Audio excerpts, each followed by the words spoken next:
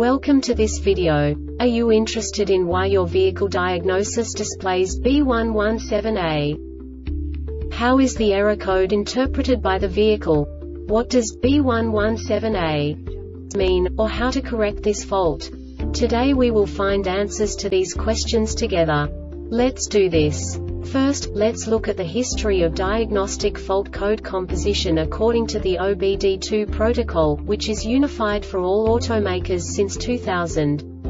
We divide the electric system of automobile into the four basic units. Powertrain, body, chassis, network. This distribution is defined in the first character code. If the second character is expressed as zero, it is a standardized error. In the case of numbers 1, 2, 3 it is a more prestigious expression of the car-specific error.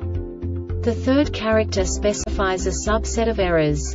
The distribution shown is valid only for the standardized DTC code. Only the last two characters define the specific fault of the group.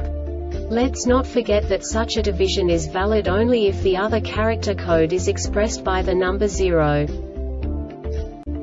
Our website airbagreset.sk produces useful videos for you. You do not have to go through the OBD2 protocol anymore to know how to troubleshoot any car breakdown. You will find all the diagnostic codes that can be diagnosed in a Lincoln vehicles. Also many other useful things. The following demonstration will help you look into the world of software for car control units. You unbelievably can move the video a bit further. The error code is split into two bytes consisting of 16 bits. One bit is the basic unit that each computer works with. The bit has two logical states. 0, low level, 1, high level. By combining the first two bits, the basic character of the error code is expressed. The next two beats again determine the second character. The last beat styles of the first byte define the third character of the code.